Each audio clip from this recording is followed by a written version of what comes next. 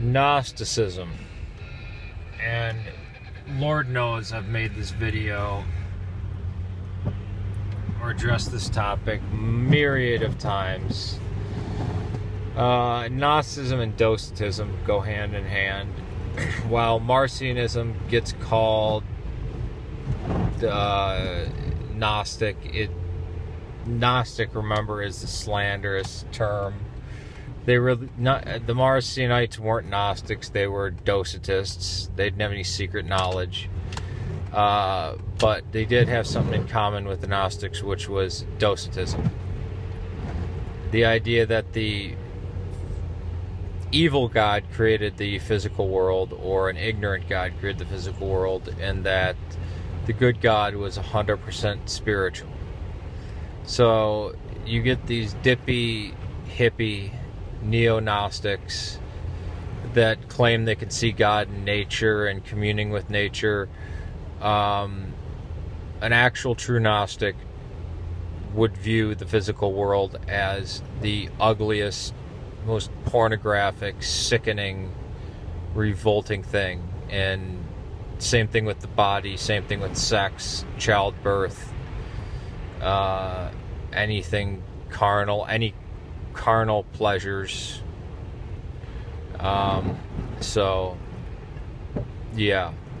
Uh, I always find it just irritating when people call themselves Gnostics and have these silly channels and then try to talk about how things like, oh, sex and sex is good and you shouldn't feel ashamed of it.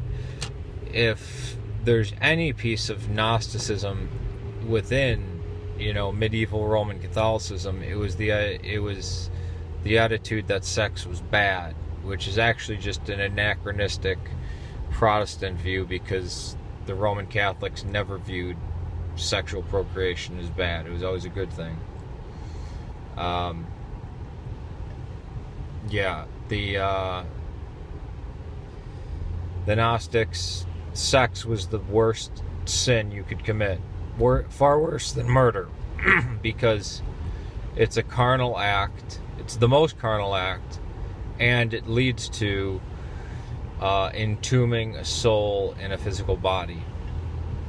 Not only that, but after the child is born, after the soul is entrapped in the baby's body, the mother is attached to this physical thing, this baby, and you're not supposed to, these familiar and what I mean I mean that in the way of family ties are horrid. The, you know, you're not supposed to have familiar ties. It's wrong. Because you're supposed to get past all that, ascend all that, uh, go beyond any physical or worldly attachments. That's the goal of Gnosticism. And it's done through not charity, not good works, because remember, you're just perpetuating the physical world. It's through secret knowledge and passwords. So, there you go. Peace to you.